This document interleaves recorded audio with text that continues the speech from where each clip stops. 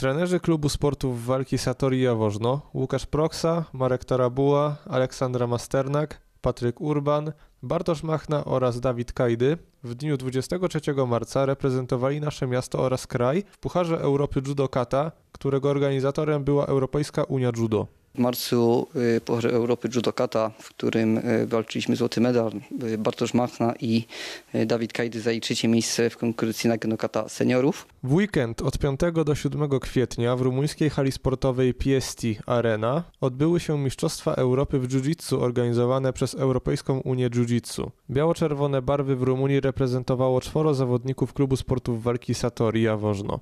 Adela Niciarz, Alicja Surowiak, Nikodem Łukajczyk oraz Szymon Kałuża. Alicja zdobyła y, Mistrzostwo Europy oraz piąte miejsce, Adela Niciarz dwa Mistrzostwa Europy, natomiast Szymon i Nikodem y, wysokie dziewiąte miejsca w swoich kategoriach. Walczyłam w fightingu i zdobyłam Mistrzostwo Europy. E, miałam trzy walki. Pierwszą miałam z Greczynką, którą wygrałam przez przewagę punktową. Drugą miałam z Rumunką, którą wygrałam Fuliponem, a trzecią miałam już finał również z Rumunką, która była bardzo silna, e, no ale też jakoś udało mi się wygrać.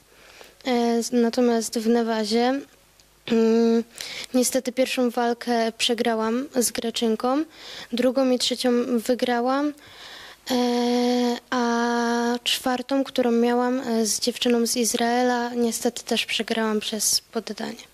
Trener Łukasz Proksa podkreśla, że znakomita postawa na macie i tak wysokie lokaty sportowców z Jaworzna to efekt ciężkiej pracy, jaką zawodnicy i trenerzy włożyli w przygotowania do startu oraz wielki sukces całego klubu sportów walki Satori Jaworzno. Jeśli chodzi o plany na przyszłość, to czekają nas y, dwa duże turnieje judokata. Jest to Puchar y, Europy w Radomiu oraz y, Mistrzostwa Europy w Sarajewie, a także Mistrzostwa Polski w jiu-jitsu. Jesteśmy dumni ze wspaniałych wyników sportowców z naszego miasta i życzymy zwycięstw w kolejnych turniejach jiu-jitsu i judo.